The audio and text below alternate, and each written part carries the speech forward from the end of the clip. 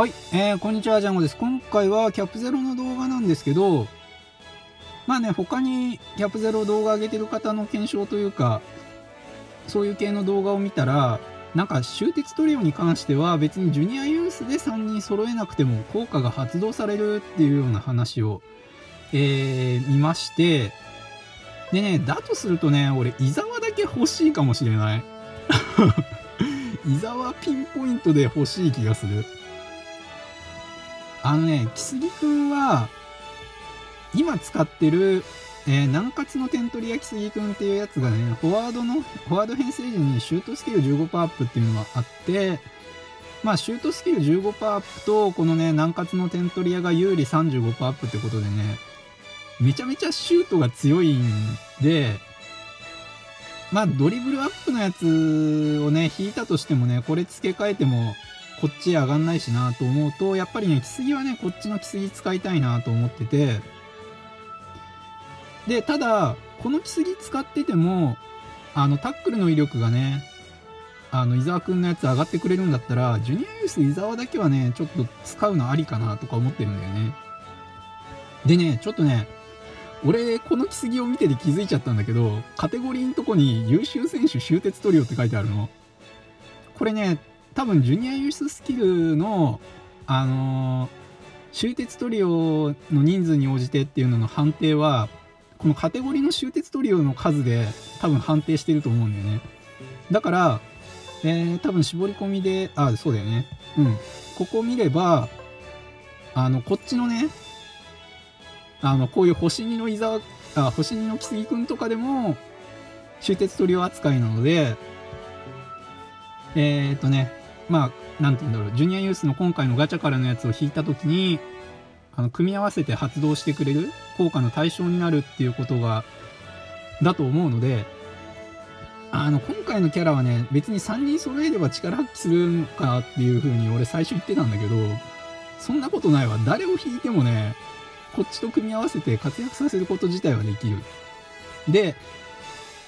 ただそういう意味で言うと、木杉くんはドリブルの威力アップなんだけど、木杉くんのスキルで育ててのシュートばっかりなので、えー、それを考えると、なんか木杉くんを引くのは微妙かなとは思うんだよね。で、伊沢をね、あの、代表ユニで俺引けてないっていうのもあって、実戦で使える伊沢くんをね、今持ってないに等しいんだよね。小学生チームも作れないから。ただ、最初の頃使ってたから、ヘディングカットとかが地味に育ってるのもあって、伊沢ね、もし引けたらね、あの、今の伊沢くんについてるタックルスキルと、2個目をね、ヘディングカットにしたりして、相手からボール奪う役として使いたいな、みたいな感じはね、すげえしてる、今。伊沢くん欲しいな、でも他の2人引いた時に微妙な反応になっちゃうよな、みたいな感じでね、ちょっと迷ってる。ただね、ここ、いつの間にかね、カテゴリーにね、あの、終鉄トリオ増えてたよっていう話をね、しておこうかなと。あれ？ちょっと待って、リセットして元に戻して、まあね、こっちの、ここを見てて気づいたんですけどね。って感じですね。で、ちょっとね、そういう意味ではね、まあ、10連を引くかはわからんけど、ちょっと、あの、なんだ？優勝60はね、少し継ぎ足してね、ここは引こうかなとかね、思い始めてしまいましたよ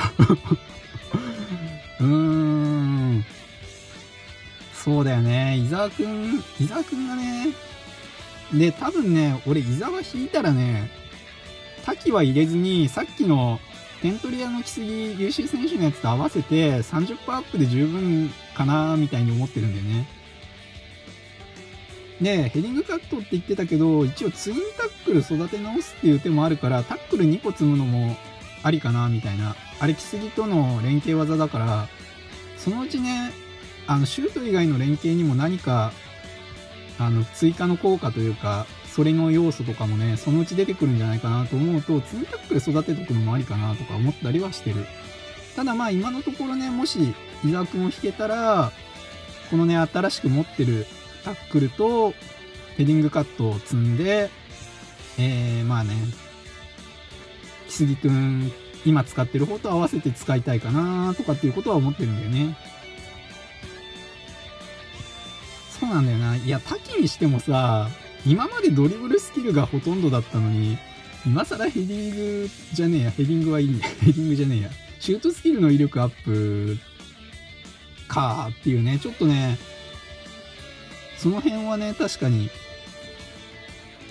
まあ、木杉はね、代表、あ代表ユニの木杉がね、ドリブル持ってたと思うので、ドリブル2個積んでっていうこともできるとは思うんだけど、まあでも俺のスキルの状況だと、やっぱり南葛の点取り焼きすぎを使いたいかなって思うから、ここ引くの微妙なんだよね。ただ、世代またいでも全然、えー、終鉄塗料として扱われるっていうことが分かった以上、ちょっと伊沢は気になる存在。っていうね、まあ、あの、それだけの動画なんですけど、まあ今後ね、カテゴリーも増えるんじゃないかな、こういう風に見ると。まだ今のところね、優秀選手と終鉄塗料と2つのカテゴリーしかないですが、まあ今後ね、何かカテゴリーの絞り込み増えるのかなってなんかバグってない？あ、大丈夫？っていうのはね、ちょっと思いましたね、今回ので。どんなのが増えるだろうね、増えるとしたら。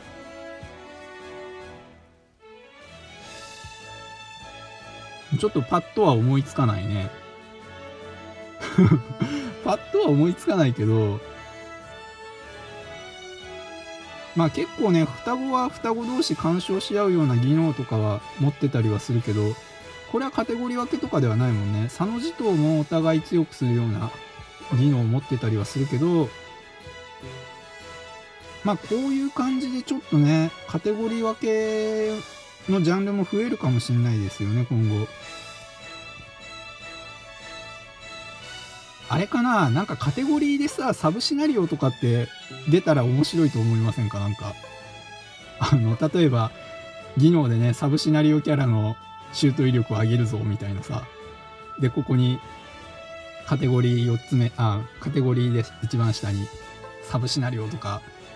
そういう系増やしてくれたりすると、ちょっと面白いかなとか思ったりはしますけど、まあ今のところはね、あのー